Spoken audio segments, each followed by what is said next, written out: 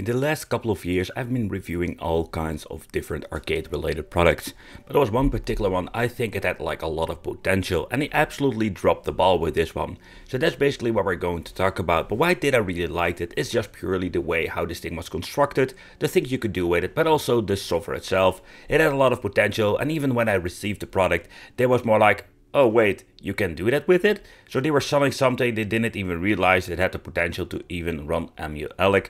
A piece of software you can download for free and can play thousands of games. All the old school stuff. Think about an Atari, Commodore 64, Amiga, uh, the old school uh, MAME games. Everything was very nice and runs very great on this. Simply because this thing has similar specifications like your typical Super Console X. But there were some things that you need to know before you can to get into the rabbit hole. So back in the day I did a quick unboxing of it and I will say that I was flabbergasted about the quality. This brand called Keku, personally never heard of it. It was a quite an interesting piece of technology simply because not only the way how it looked but also what you could do with it. You could just split it up and have two separate consoles. A very unique design I personally never seen because you always needed to buy let's say one big stick or two separate sticks. So basically it's a pretty good deal. You can just basically like use a thing like a gigantic stick, a front TV or you could just get yourself like two separate sticks and play in some relaxing couch with your friends. I want to welcome you to the Wicked Gamer and Collector and let's talk about some more cool stuff that you can pick up from China. Now, because I just wanted to show you, so let's take a close look at the bottom part, because here we're having some interesting features too. So over here we're going to get the option to choose between the Xbox 360 PC, so that's very convenient, also if you want to use it on different systems. Here we have the option to put it in Android mode, and here we can put it in PlayStation 4 mode. So when you're removing the caps over here, it's kind of weird that it's more like a flap. You cannot fully remove them. So this is basically the thing that connects both of the controllers. That's it. But I just want to do in disassembly because I just want to show you how the transforming mode works. Okay guys, so next up let's take a close look at the transformer mode. So what you need to do, like you need to slide these two over here that's it. That's the only thing. Now it's unlocked and now you can slide the two parts and make it a one joystick. That's it. It's a really cool thing and a really awesome feature. Something I have never seen before with a Pandora's box. Okay, so let's get ourselves a piece of plastic or the attachment. And the only thing you need to do, like when you disassemble it, is that you're going to slide it in. You need to be careful with the two sliders over here at the back. Click it in. It goes quite sturdy. And that's it folks. And we're having ourselves a single player stick. And this is a future that makes me really excited. But let's take a close look at the stick. Let's, um, should we stick it together? Nah, just review it like this. The reason why we got so many different cables is very simple. So the original one that is attached, you cannot disassemble it from the joystick itself. You can't remove it, so you're stuck with it. But here we're going to get the USB port. We need to connect this one, but with this port we can basically hook the systems up together. But also you can use it like a separate system on, an, let's say an Xbox 360 Android with the switch that I've shown you before. Long travel Chinese buttons like we get on most of the arcade Pandora box sticks. And I must say that I'm a little bit disappointed with the quality of the wiggle stick, simply because it's more like a Sanwa clone. They're not really bad, but for the price that you're paying for the device, give us at least a Sanwa joystick. Both controllers are going to get a player 1 button over here.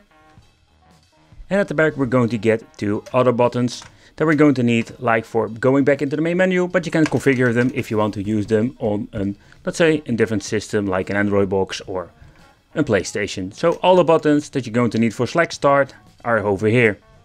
The original software that came with this thing was absolutely garbage.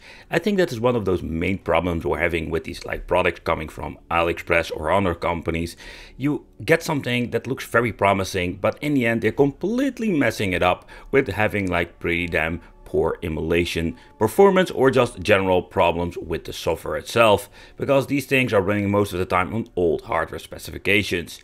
So a great example I just wanted to show you why I think they completely dropped the ball. When you're just powering it on, you're going to get yourself like this weird looking Android interface and they just slapped some weird program in it with some games that you can actually play but the overall performance of the games were pretty damn sloppy and we had so many issues when it comes to that. Unfortunate, yeah, this was the thing that you was going to get in the beginning. So when you're looking at the software itself, we had the option to sideload some emulators if needed. Beside that, we did have like Netflix and Prime Video, so we also can use it and actually like an Android box because that is what is in the inside. But let's take a close look at the other software because this is just your typical stuff like Redream, ePSXe, but this tiny arcade, that was interesting. When you're clicking on it, it will boot up into Retro Arcade. Here you can see it says zero games found and it will load up the games. There were not a lot of them, I think it were like 452 or something like that with this version. And this is actually the original kind of software that you're going to get. It's very limited, it runs really choppy. It's a mix of all kinds of, did they have like category system like winner, aircraft, fighting, motion and puzzle. Again, makes no sense whatsoever. But let's take a close look at the EmuElec. It works exactly the same like your Super Console X. You just basically need to download your software, install the certain boot file. What I understand that this thing was running on the S905 mainboard, so it's the same like the first generation of Super Console X, and just do some quick testing when it comes to some games. Okay, so this is the first game I wanted to try out, because Super Console X also have a lot of struggles with this. And the main reason is that this stick is not powerful enough. A little bit of a bummer, so I'm hoping in the future, if they're going to release a new version, that this thing will get some more juice, so we can actually play Atomiswave way better. Next up, Sega Dreamcast. It will have like the normal glitches. I think you don't see them in this particular level.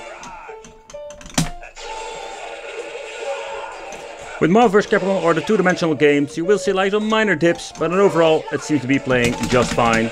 Alright, so next up, Mortal Kombat 4 main, a game that is really demanding. The sound is a little bit off. I did note it, like it doesn't sound that crisp and clear like it usually does.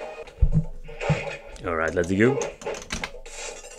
Ha! Gotcha. Next up, PlayStation 1. But I think it's more like a Captain Marvel moment. You can see that in the sidebars, of course. But this ruined like a charm on the specification of this main board. Woo! I'm getting my ass kicked by King. The first generation N64 games will run fine or good enough to enjoy. But take in consideration that if you're going to play more demanding games, it will be like a mixed bag. This device doesn't have the required power to run most games. And when you're playing with an arcade stick and the game itself doesn't support like a D-pad, you're just done. Alright, so this is what we're going to get and they are quite naughty in my opinion because they are using this metal plate. At first you're picking up and thinking, oh man, this thing weighs quite heavy for a plastic fantastic stick. But they are just cheating with this metal plate. But you can see that it's just a custom board. It's it's not something they grabbed out of the shell. So K-Play just not only designed the box itself, but they also designed the encoder board that comes with it. Main board itself, it's basically like, and I think they did sound like a specially modified K-Play special main board. It's in the end, it's just it's just a TV box. And the cooling element itself, yeah, it's a basic element they just slapped on. You can even, I think if I can basically twin it around, I can basically remove it if I want to. This was a product that had a lot of potential. When it comes to the overall quality, just the way you can play your games with ME you can split it up in two sticks or having one big one, I think it was so cool. But unfortunate, it came with a very hefty price tag and the emulation performance was not like comparable when you look at the price you need to pay for it. Nevertheless, let me know in the comments what do you think of this product, would you consider buying it and what is the price you would pay for it. Nevertheless, thanks for watching, consider subscribing and it would be great if you subscribe and hit the little bell because that would mean I will see you in the next video.